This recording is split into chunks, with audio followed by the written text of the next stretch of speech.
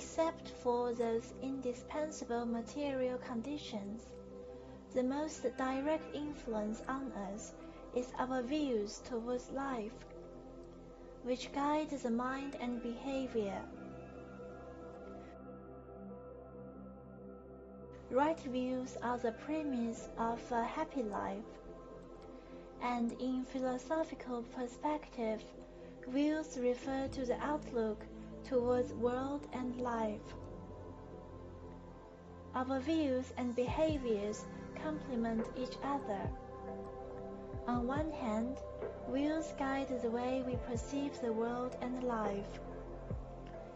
On the other hand, views are an accumulation of our experiences. In fact, our growing process is one through which we gain the cognition of the world.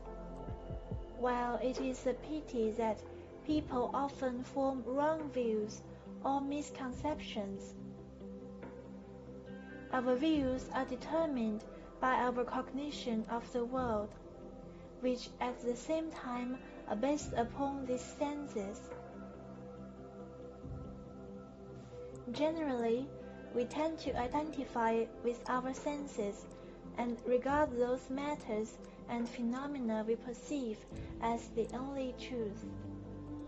It is a question, then, whether our senses are really reliable.